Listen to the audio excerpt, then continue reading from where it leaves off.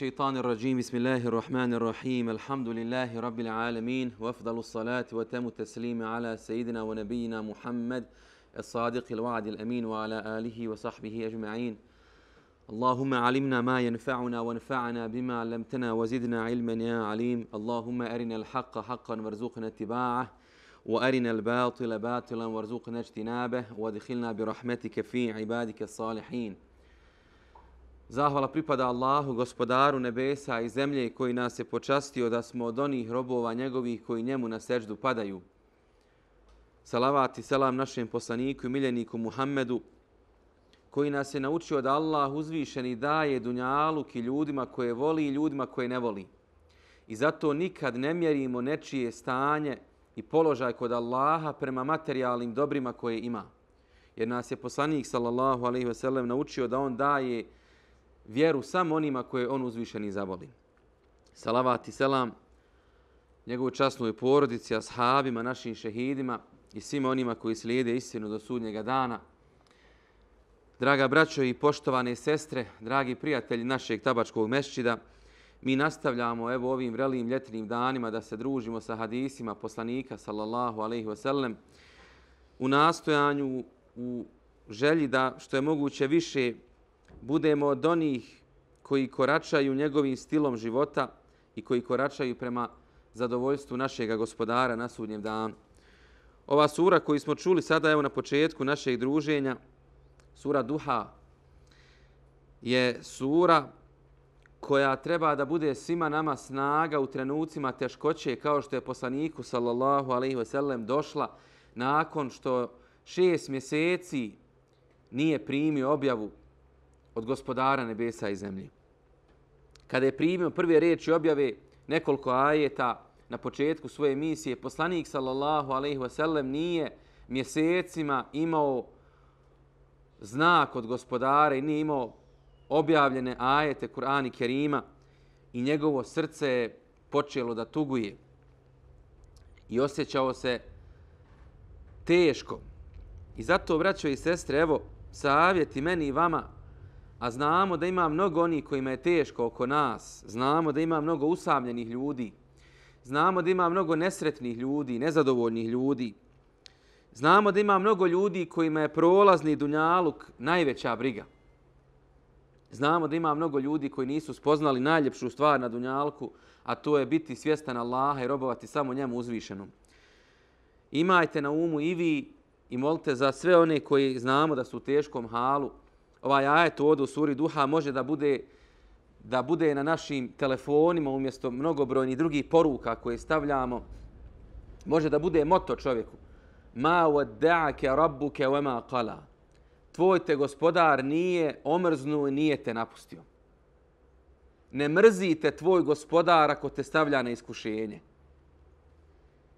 I nije te napustio tvoj gospodar ako ti se odmah na dovu nije odazvao. Jer Allah se odaziva na dovu onako kako on hoće, na način na koji on hoće, u vrijeme u koje on hoće. A ne onako kako ti hoćeš, na način na koji ti hoćeš, u vrijeme koje ti hoćeš. Jer ti si rob, a Allah je rab. I zato, braćo i sestre, mi moramo da čistimo svoja srca Kur'anom, hadisima poslanika, sallallahu alaihi sellem, da bismo dostojanstveno, ponosno, sretno živjeli ovim prolaznim dunjalukom, i da bismo se vratili gospodaru svih svjetova sa nečim što vrijedi, a to je iskrena vjera u njega i dobra djela koja smo radi njega činili. Nek, ovo, nek ovaj ajet evo, bude nam inspiracija u vremenima teškoće, u vremenima iskušenja koja imamo, mi u svojim životima imamo u našem društvu, znate i sami koliko mu taj oko nas. I nekad ne treba glasno ni govoriti o devijacijama u našem društvu, jer to grešnik samo i želi mi moramo, braćo, da činimo dobro. I poštovane sestre, moramo da činimo dobro, da živimo dobro i da zovemo dobro do te mjeri da je dobro način života. A da ono što ne valja bude ono što je u manjini i ono što treba da, da onaj ko to čini da se stidi toga. A ne ti ja da se stidimo što smo u džamiju došli. Ili što hizmetimo roditelje svoje ili zato što želimo da pomognemo starijem komši, ili zato što želimo namaz da čuvamo, ili zato što neka naša sestra hijab nosi, ili zato što živimo čednim moralnim životom i ne idemo kasno na večer na mjesta gdje vjernik ne može da se nađe. Njega neka je stid i nje neka je stid. Na kraju krajeva nismo mi ti koji sudimo, samo treba da budemo ponosni na dobro koje činimo.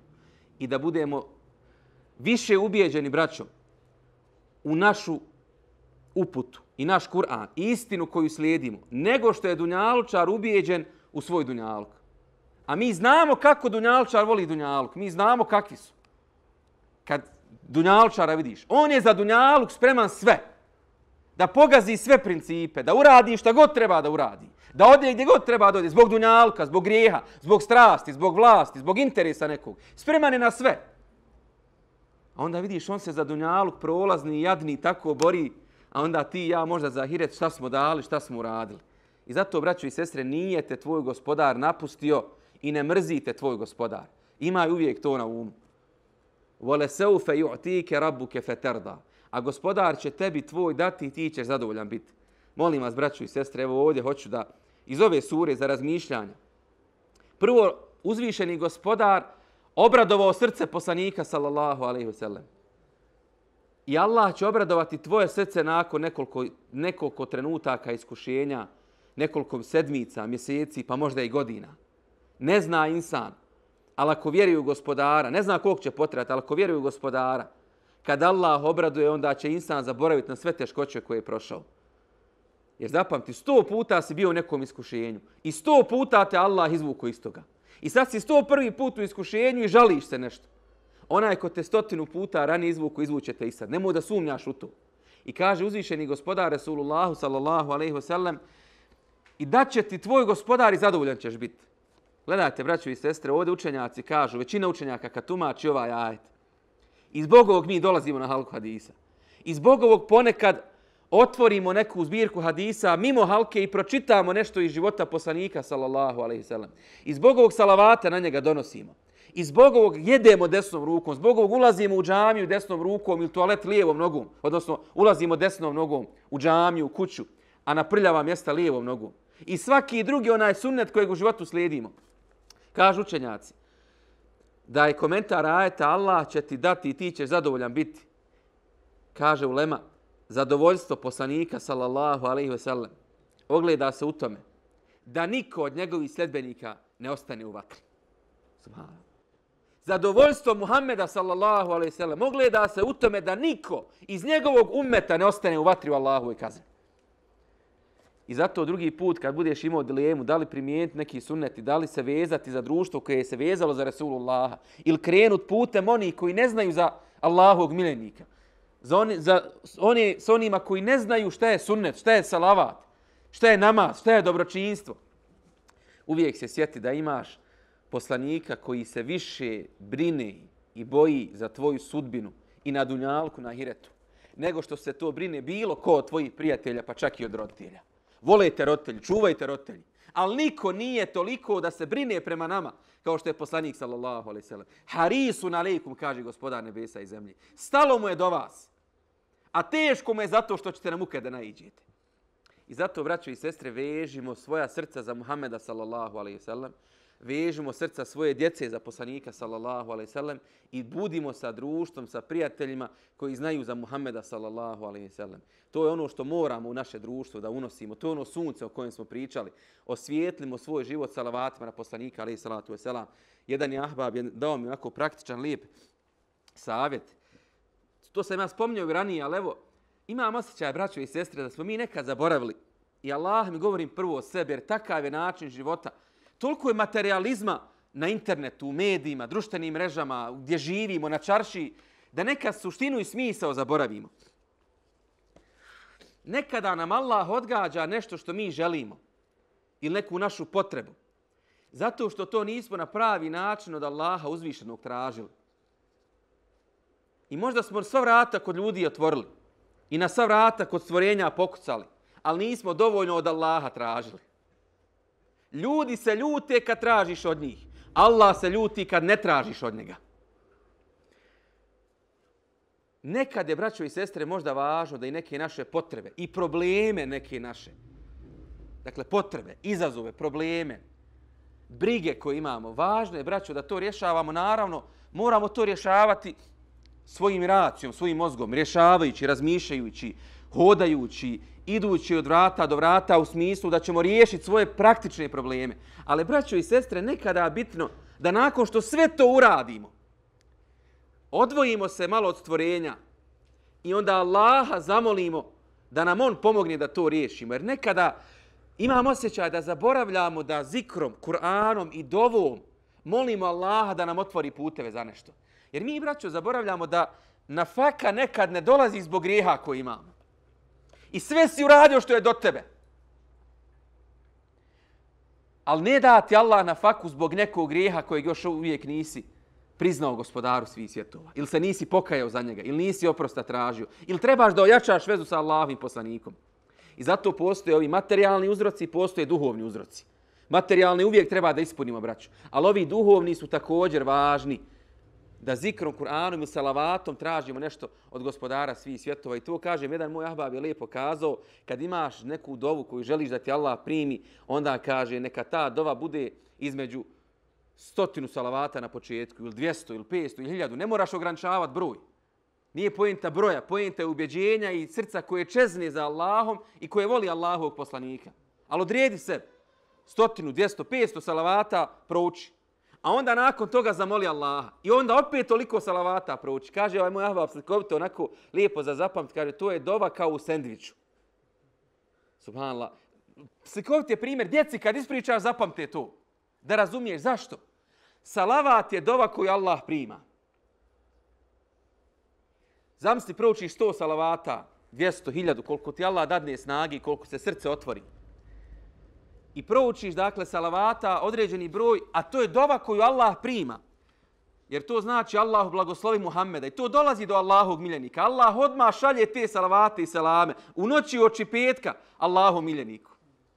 Braćo i sestre, mi imamo pravo da se nadamo da će u ovoj noći ovi naši salavati i selami, ovo naše druženje ovdje, Allaha radi, njegovog miljenika radi ovdje, da će to doći do Božijeg poslanika, sallallahu alaihi sallam, da će njemu izloženo biti i da će on Allaha moli da nam grijehe oprosti, a da nam dobra djela primi. Imamo se pravo nada tome. U vjerodostojnim hadisma je čak rečeno Allah mi dušu vrati kad salavat neko donese. Dušu mi vrati i ja na taj salavat odgovorim tom Allahom robu. Snaga salavata. kaže, proučiš, zamsi, proučiš određeni broj salavata na početku, pa onda dovu, onda opet određeni broj salavata na kraju. Allah je plemenitiji od toga da primi oni prvih stotinu, dvijesto, hiljadu salavata i oni zadnji stotinu, dvijesto ili hiljadu salavata, a da ne primi ono što je između te dvije dove koje on prima između tih salavata. I zato su kazali, smo ranije naši stari uvijek učili prije dove, prije fatihe, prije bilo čega, Allah me sali, Allah Muhammed. I to je sunnet Allahov poslanika, zahvalnost Allahu i salavat. Bilo prije, bilo koje dove, a u isto vrijeme to je edeb prema Allahu, njegovom miljeniku, jer time priznaješ da si se vezao za put, za put onoga koga Allah najviše voli i kome on, kome on dove prime. I zato, draga moja braća i poštovani sestre, evo, molim vas, ova sura duha nek nam bude negdje na umu u trenucima teškoće da snagu izlaz tražimo u Kur'anu i u vezi sa Allahom kroz salavat, kroz dovu, kroz popravljanje odnosa prema Allahu Đelešanu. Volio bih s vama da podijelim, evo prije nešto prijeđemo na hadis, jedno razmišljanje, jer sam primijetio spomenuo sam evo to sada, ali mislim da moram o tome više da govorim. Svako ko ima teškoću nije lako tom insanu. Nije lako tom insanu. I nema ga među nama da nema teškoću. Nema ga među nama da nema neku želju. Nema ga među nama da nema neki dever. Nema ga među nama da ga neko ne sikira. Nema ga među nama da neko nekome srce nije na ovaj ili onaj način uvrijedio, ugrozio, da mu nije oteo srce da mu nije hal njegov pokvario. To je život, to je dunjaluk. Ne očekuj na dunjalku da nakon kojeg neće biti problema. A šta Allah od nas traži sa tim iskušenjima? Traži da mi ojačamo, a ne da oslabimo, nego da ojačamo i da budemo više njega svjesni i da budemo više zahvalni i da veće terete možemo ponijeti da bismo ostvarili smisao postojanja, a to je halifa da bude mi Allahu da robujem. Znam si, hoće neko da bude namjesnik na zemlji. Halifa da bude i da ne podnese velika iskušenja.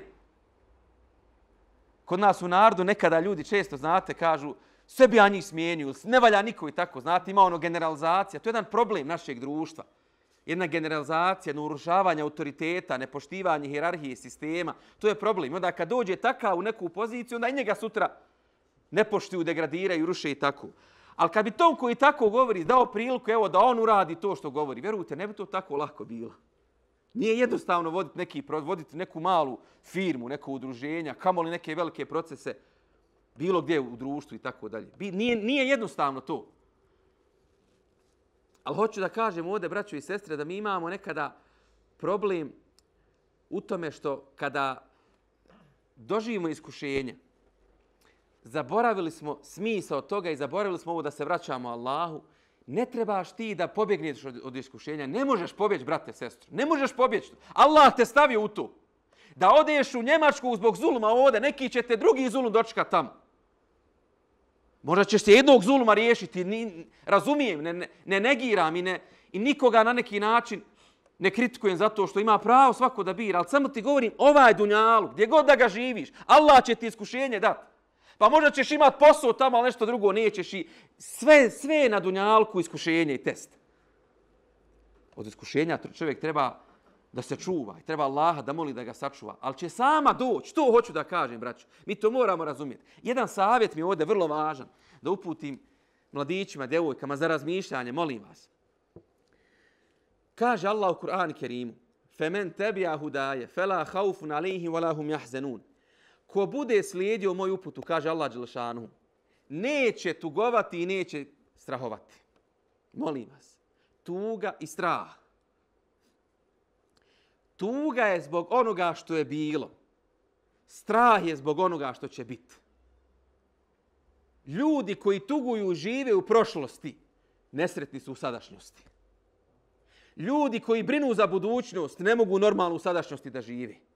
Šta Allah u Kur'anu govori? Gdje je lijek? Šta je izlaz? Kaže, ko slijedi uputu moju, ko slijedi put moj, uputstvo, nema tuge, nema straha. Zaista vas zamolio, braćo i sestri, probajte to u svom životu. Evo, govorim i sebi, govorim i vama. Sve što se desilo u prošlosti, u tvom i mom životu, Allah je dao kao lekciju, kao iskušenje, kao pouku. Dao je kao priliku da te upravo to u Allahu blizinu odvede. Da te u dženne dovede da te načini boljim danas milion puta nego što si jučer bio. Ali ti moraš u svojoj glavi to tako da vidiš. Prokleti šetan te stalo podsjeća šta si uradio, gdje si bila, kakva si bila, šta si uradila. Zar tebe da oprosti, zar ti da se pokaješ, zar ti da klanjaš, zar ti da ideš tamo. Stalno te u prošlost vraća. To šetan želi, braćo i sestre. I zato vidi mnogo mladića, devojaka, ljudi koji ne mogu nikako da prevaziđu grijehe i greške iz prošlosti.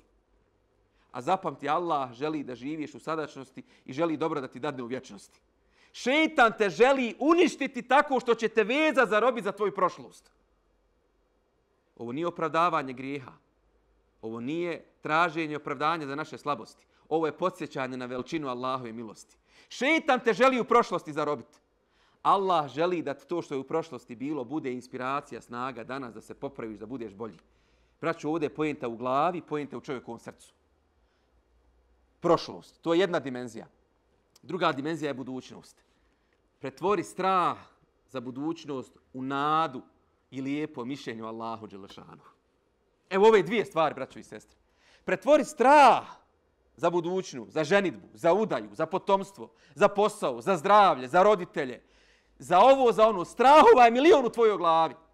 Pretvori svaki od tih strahova u nadu i lijepo mišljenje o Allahu Đelešanu. Šetan želi da strahuješ, da brineš, da očajavaš, da ne očekuješ, da poklekneš, da potoneš, da te nema mentalno da propadneš. I loši ljudi koji su šetanovi pomagači, oni to želi. A Allah i čestiti njegovi robovi želi da vidiš taj strah u stvari kao nadu. Nema straha, nego imam nadu Allaha. I zato vas zaista molim lijepo mišljenju Allahu Đelšanu. Jedna lijepa predaja koju s vama hoću da podijelim.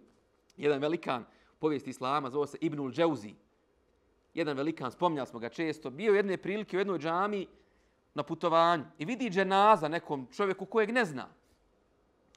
I ode da obavi tu dženazu i kada je obavio dženazu, kad su se svi razišli, on stane malo pored mezara i kaže, gospodaru moj, tebi je u goste došao čovjek.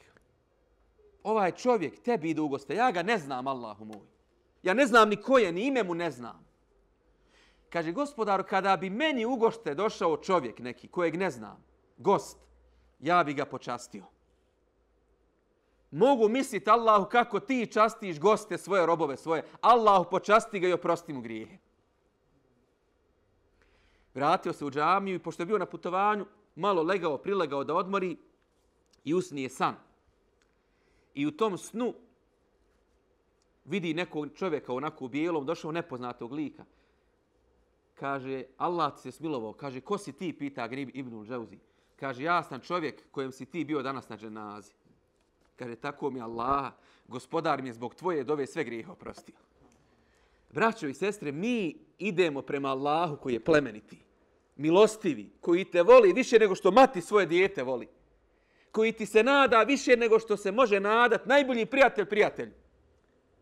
Mi, braćo, zaboravljamo kakvog gospodara imamo. Mi zaboravljamo kakvu snagu imamo u Kur'anu, u zikru, u namazu, u dovi. Zaboravljamo kakva je snaga iskreno srce koje je u imanu. I onda nas pokoleba neko malo dunjalsko iskušenje. Molim vas, braćo i sestre, mladići, djevojke, pusti drugi, zanemari drugi.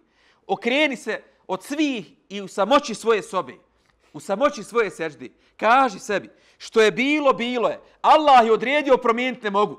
Ali znam da imam gospodara koji me voli i koji me želi. I znam da prokleti šeitan želi da me u prošlosti zarobi. Allahu tebi se nadam. A što će doći? Ne želim da zato brinem jer ja idem prema gospodaru o kojem imam lijepo mišljenje. Prema gospodaru koji me hrani i poji, a nisam zasružio. Mogu da me učini gladnim i žednim. Koji mi je sigurnost dao u mojoj kući, u mojoj džami. Mogu me bez te sigurnosti ostaviti. Koji mi kad dignem ruke da od njega nešto tražim, stidi se da te ruke vrati prazni. Braćo i sestre, tako se mijenja društvo. Tako se popravlja jedna zajednica. Najlakše je uzeti napisat da nešto ne valja. A najteže je sebe u samoći preodgojiti i kazati nema straha, nema tugi. Što je bilo, Allah će oprostiti, a iskreno se kajim. Što će doći u Allaha se uzdam i njemu se nadam. Ja molim Allaha da nas na tom putu pomogne, da se Kur'anom odgojimo, da budemo od onih koji istinski uputu slijede, jer oni koji istinski uputu slijede, za njih nema straha, za njih nema tuge. Gospodar, pomozi nas na tom putu. Amin, rabel alemin. Da proučimo do Fatihu pred duši mama Buhariću, hadijsku zbirku čitao, li dalila ta'ala al-Fatiha čitamo 886. hadis iz zbirke imama Buharije, poglavlje Bab Jelbisu, Bab Jelbesu Ahsene ma jeđidu. Poglavlje o tome da čovjek treba da obuče najljepšu odjeću koju nađe kad krene na džumu namaz. Malo, govorimo i dalje smo u knjizi koja govori o džumi. I ovdje ima Buharija i kaže nek poglavlje o tome da se obuče najljepše što čovjek nađe.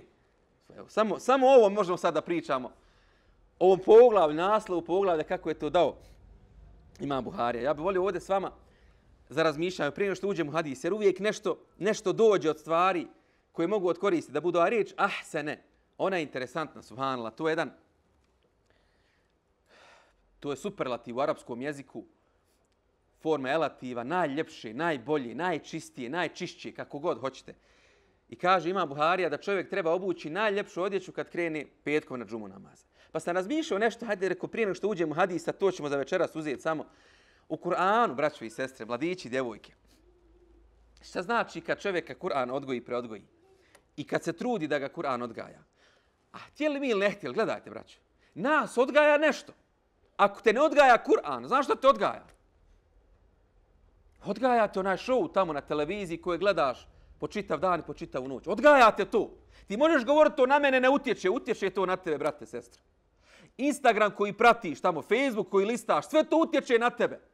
Sve što tamo čitaš, svako koga pratiš, ulazi i postaje dio tvog mindseta. Ti ne htio ti to. I zato vodi računa šta gledaš, vodi računa šta čitaš, vodi računa kome sate svoga života daješ, vodi računa kakvi su ljudi oko tebe. Sve te to formira, sve te to kreira. A najbolje da te formira i da te usmjerava Kur'an i Kerim jer je bio moral Muhameda sallallahu alaihi sallam, znate i sami šta Kur'an Kerim. On je bio Kur'an koji hoda. Zamislite da mi se postavimo da nam je cilj života. Nije lako do toga doći. Ali evo je slika sebi kazao Allahu neka mi nemoj me uzeti gospodaru sebi, dok mi dok ne budemo od onih koji su ostvarili sunnet poslanika alejhi selama da bude Kur'an koji hoda. Zamislite da to bude jedna od ova tvojih. Kad ti takve dove postanu, plemenite, uzvišene stvari, imaš ti pravo da tražiš dunjalku i traži dunjalku. Ali kada ti postanu prije svega ove dun, dun, dunjalčke dove na sekundarnu, na drugom mjestu, u drugom planu, a bitne su, ne negiramo dunjalku, braću i sestre. Ali kad ti ove dove postanu primarne, kad počneš o tome razmišljati, znam si, suhan, da mi je Allah, daj da bude Kur'an koji hoda. Nije lako to postići, niko od nas to lako ne postiže, ali to mi je dova, to mi je želja nek mi bude. Kad to postanu dominantne tvoje riječi dovi, u jednom ćeš trenutku vidjet kako je onaj dunjaluk za kojim, dunja, za kojim dunjalčar leti, koliko je to bezvrijedna stvar, subhanallah. Tek ćeš tad možda razumjet ono što Isa alaih selam kaže kad su ga pitali šta je draži tebi, kamen ili zlato? Uzeli jednu ruku kamen, u drugu zlato. Oni kažu nama je zlato, oni svi kažu. Ono kaže kod mene oboje isto, subhanallah. Jer kad dugoročno Islam gleda u biti, u osnovi isto je. Čak ovo može da mi šteti zato što ga nisam zaradio na halal način ga nisam potrošio kako Allah zadovoljan. Govorim samo načinu razmišljanja, braćo i sestre. I Kur'an treba da nas odgaja. I evo ovdje s vama da podijelim samo dva detalja. Je ko da satim ćemo za, za okrušte, evo, da stanemo kod naslova poglavlja. Jer puno je stvari koje samo hoću da podijelim. A ovaj hadis ima mnogo dobrih poruka koji su mi važne samo da podijelim. Gledajte, braćo. Kada Allah govori o tome šta je bolje, o tome šta je najbolje u Kur'anu, kaže Allah, evo jedan primjer. Mi volimo taj primjer. Kad nam neko zulum učini, znate, kad nas neko uvrijedi, kad nam nešto uradi. I pa imaš ti pravo, apsolutno, da uzmeš svoj hak. I imaš pravo, kaže gospodar, wa in aqabtum fa'aqibu مَا عُقِبْتُمْ ma uqibtum bih. Kad vas neko ugrozi, kad vam uzme vaše pravo, vi mu imate pravo vratiti tako. Wala in sabertum, kaže Allah, lahu khairul e lisabirin. Al kaže ako se strpite i ako ne odgovorite, I ako tu dovu mazluma ne iskoristite za to, za taj konkretni slučaj, kaže Allah Đelešanu, to je bolje za strpljive. Paste, Allah je rekao, imaš pravo tu. I to je sad step, nečiji stepen je da on hoće da uzme svoje pravo. Hoću ja da mu vratim. Hoću ja istom mjerom. Nema veze, pusti ti dovu mazluma, pusti ti na hiretu. Hoću ja da mu vratim. I Allah je pravedan i Allah kaže, možeš tu. A onda Allah kaže, ali ako se strpite, to je bolje. Gledajte, važno je ovo da pojasnim. A onda Allah na drugom mjestu u Kur'anu kaže, subhanallah, وَتَّبِعُوا أَحْسَنَ مَا أُنزِلَ إِلَيْكُمْ مِنْ رَبِّكُمْ Kaže Allah, slijedite ono najbolje od Kur'ana što je objavljeno. Imaš pravo da budeš na levelu 1. Ali Allah kaže, idi na level 2, na level 3. Idi, level up, podigni to, subhanallah. Nemoj se zadovoljiti, nemoj govoriti, ja sam takav, ne mogu biti bolji. Nemoj govoriti, ja ću na svaku da odgovorim. Ja ću svaki zulum da, da dunjalku da mi se vrati još. Pa možda te Allah stavlja u te situacije da bi se ti preodgojio, da bi na hiretu sutra imao neku dovu. Neki uzdah koji će ti koristiti. Prevagnut će možda na vagi dobrih dijela. Nemoj da ti samo dunjal bude preokupacija. Nego sve što ti se dešava vidi kao lekciju od Allaha, kao poruku od gospodara. Mi čim čujemo na zvuk, znate, vibera, one poruke, odmah letimo da vidimo ko je. Allah nam svaki dan poruke šalje kroz ljude, iskušenja, mi ne gledamo što u poruci piši. Nego da ja vidim, jel men dobro, imam li ja konekcije.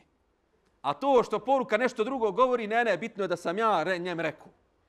I zato, subhanallah, gledajte, kaže Hasan el Basri, kad ti neko učini zulum, subhanallah, gledajte ovog rezona. Braćo i sestre, mi se ovdje učimo rezonu. Učimo se ovome ahsene, najljepšoj vjeri. Jer je morem oko nas vjernika nominalni. Sad kad bi izašli na čaršu, ja vjerujem, Allah najbolje zna, ali 90% ljudi bi reklo vjeru Allaha i poslanika. Je li tako? Vjerujem ja u Allaha, volim ja Boga. Ali nisu namaz obavili. Da ne kažem da razmišlja sada na nekom većem stepenu duhovnog promišljanja. Kaže Hasan el Basri, kad ti neko učini zulum, neku nepravdu, taj trenutak dove mazluma, znate sami da između dove mazluma i gospodara nema perde, nema prepreke, Allah tu kaže tada iskoristi taj trenutak i prouči dovu za sebe, za svoju porodicu ili da ti Allah grijehe oprosti. Jer kaže, zalimu je svakako dovoljno njegovog zuluma, Allah će ga poravnati. Nemoj protiv njega više dovu da učiš. Dovoljno mu je to što je takav, subhanallah. Ne moraš još ti da trošiš takvu vrijednu dovu na insana koji je već sebi zulub učinio. Koji je kod Allaha na pogrešnom mjestu. E to je braćo rezon. E to je ovo, slijedite najljepši što možemo. To je, to je jedna dimenzija, još jedna hoću iz Kur'ana, braćo i sestre. Evo, večeras sam stavio malo Kur'an u fokus, jer mislim da se i ovim danima iskušenja, ovi devijacija oko nas, e, pojačani šeitana oko nas u našem gradu, moramo malo više Kur'anu krenuti. Molim i vas za to.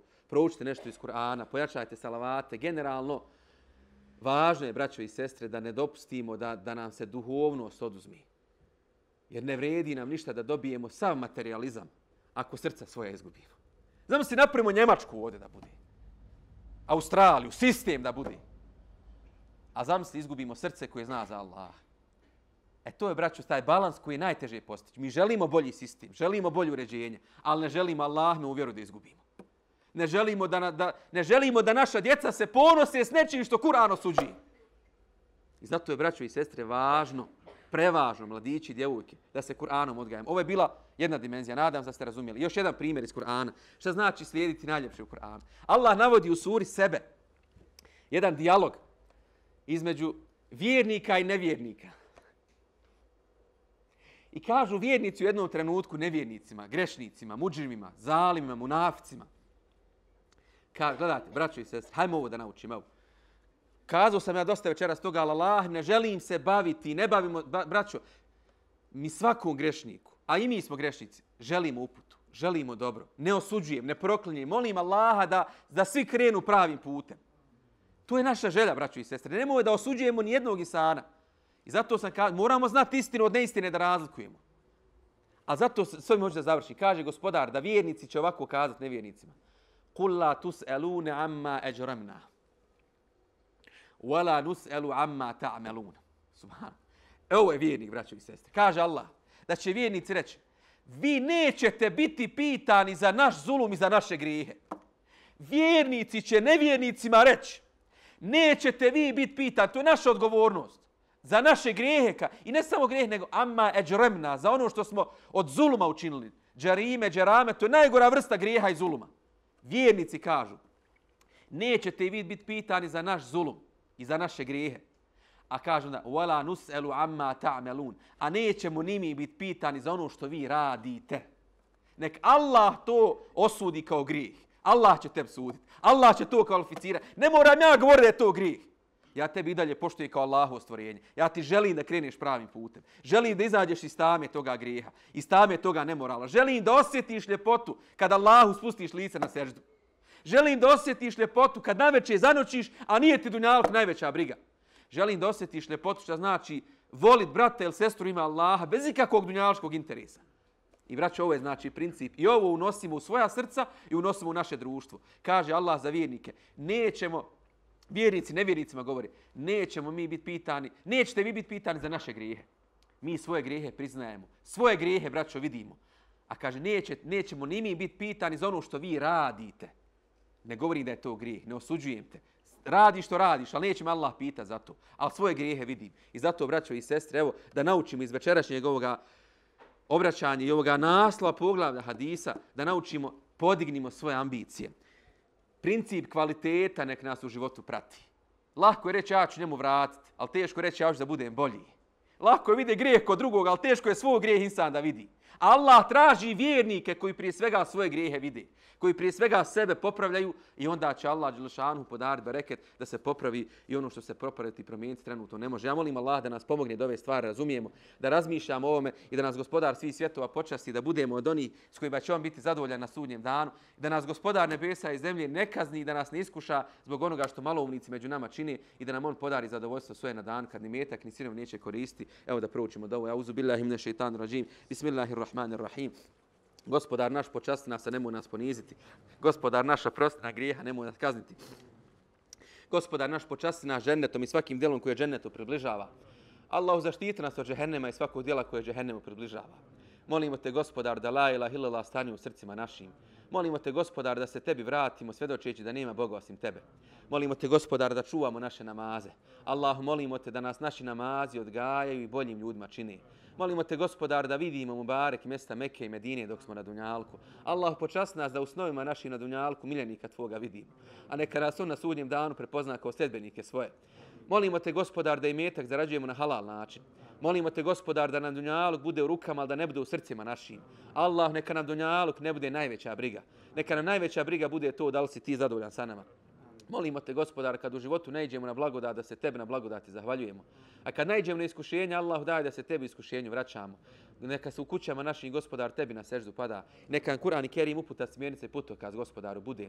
Allah molimo te da podignemo svoje ambicije, da podignemo svoju vjeru, popravimo svoju vjeru i da budemo od onih koji će kvalitetom tebi da zovu i tebi da, tebi da druge robove tvoje prizivaju. Molimo te gospodar, onaj koji je tužan, ti mu tugu razgali. Onaj ko je bolestan, ti mu zdravlje podari. Onaj ko ima neki dug, pomozi mu dug svoj da vrati. Onaj ko traži bračnog druga, počasti ga i obskrbi ga sa hajili bračnim drugom. Onaj ko nekoga ili nešto iščekuje, ubrzaj mu gospodar njegovo iščekivanje. Molimo te gospodar, vrati našu omladinu islamu na najljepši način. Allahu počast nas da u srcima našim nam niko preči od tebe ne budi. Allahu daj da volimo tebe. Gospodar daj da radimo djela koja voliš ti. I počast nas gospodar da volimo ljude koji vole tebe i koje ti voliš uzvišeni gospodar. Molimo te gospodar da budemo dio rješenja, ne dio problema. Gospodar sačuvaj nas od oholosti, od zavidnosti, od mržnje i svake druge duhovne bolesti. Molimo te gospodaru pomozi nas u borbi protiv naših slabosti i naših grijeha. Molimo te gospodaru ojačaj nas, obskrbi nas, nadahni nas gospodaru, odgoji nas i pomozi nas Kur'anom. Molimo te gospodaru čuvaj naše porodice, čuvaj našu domovinu, čuvaj našu zemlju, naš narod protiv dušmana. Pomozi nas gospodar da popravljamo stanje. Nemoj nas kazniti zbog onoga što neznalce među nama čini. Počast nas gospodar da svoje grijehe priznamo i ti budi zadovoljan sa nama na dan kad se s tobom sretnemo. Allahu ako mi zaboravimo tebe, nemoj ti zaboraviti nas i budi nam milostiv na dan kad ni metak ni sinovi neće koristiti. Subhana rabbika rabbil izzati amma yasifun wa salamun ala al mursalin walhamdulillahi rabbil alamin al-fatiha.